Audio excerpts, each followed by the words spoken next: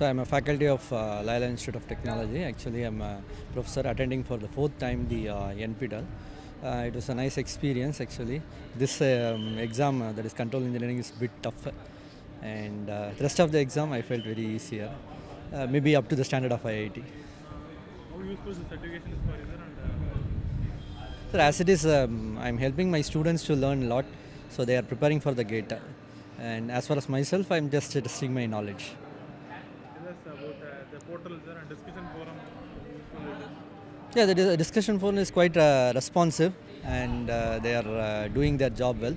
And um, most of my faculty members are encouraged uh, in doing this. Uh, as a SPOC, I'm helping them also. Text material, access the text. Some of the uh, NPTEL courses does not give some text materials. Uh, take for example, uh, most of my faculty members are pressing for uh, embedded system and like uh, courses. Uh, if at least they could provide some minimum text material for the preparation, that would be helpful.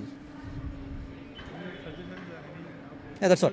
Text material, if it is any courses you like to, any new courses you like to suggest for us to No, uh, rather than courses, uh, if these courses are uh, actually uh, mixed with the skill development things uh, and if they are providing us some internship for the students, it will be more helpful.